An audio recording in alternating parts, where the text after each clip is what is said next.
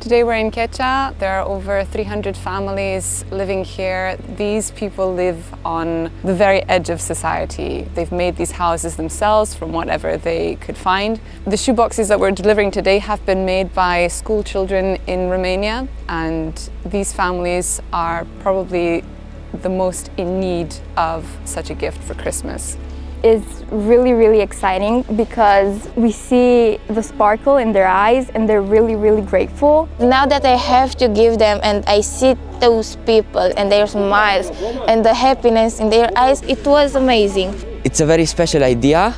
I did this uh, before, like two years ago. The first time I was very emotional. I do feel somehow sorry for them and I hope with this kind of gifts we can make their lives better.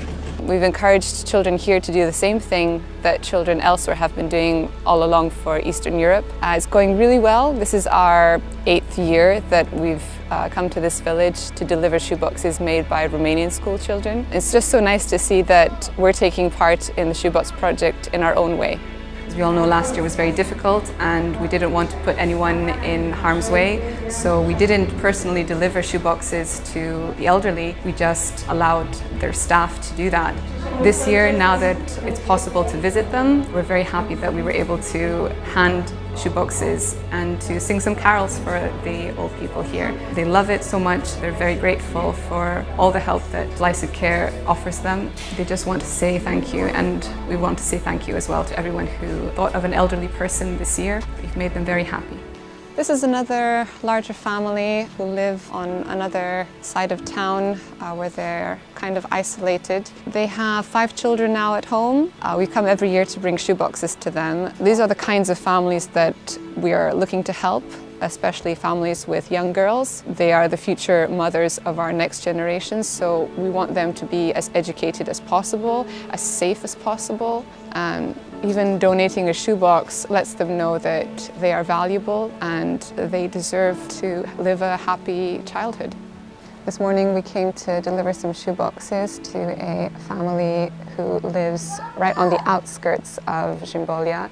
This family has five very young children who are in school or in playgroup. It's a very poor and sad situation and Blythswood is doing everything they can to support these children. One of the girls who is 13 looks like a six-year-old and has the mental abilities of a five, six-year-old. Uh, she was born with physical and mental handicap and she has very big difficulties in learning and especially in speaking. And she was so happy today to receive some necklaces and it was such a delight seeing her face light up and especially seeing that they were actually alone at home when we arrived. The mother is away at some neighbor at the moment and all five little children were just sitting by themselves on this uh, wintry morning.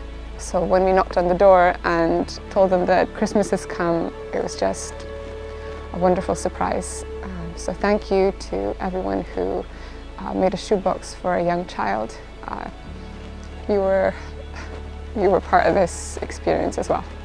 Talita Kum children have just received their shoeboxes for 2021. They are so thrilled, as they are every year, to receive such gifts. It's such a simple thing. You may think it's just ordinary objects that everyone has access to, but it means so much more to these children and to their families. So thank you very much for thinking of the Talita Kum children this year. I can assure you that every gift has gone to a special cause, to someone in need and someone who is very appreciative of this gesture. A shoebox may not mean a lot in terms of uh, content, but I think that's a great bridge between two very different cultures. Thank you for the effort that went into this, the expense and generosity beyond mere things and materiality. I, I believe there's, there's a genuine love and concern and solidarity expressed in this way. So thank you once again and please continue to do it in the future as well. Merry Christmas, everyone.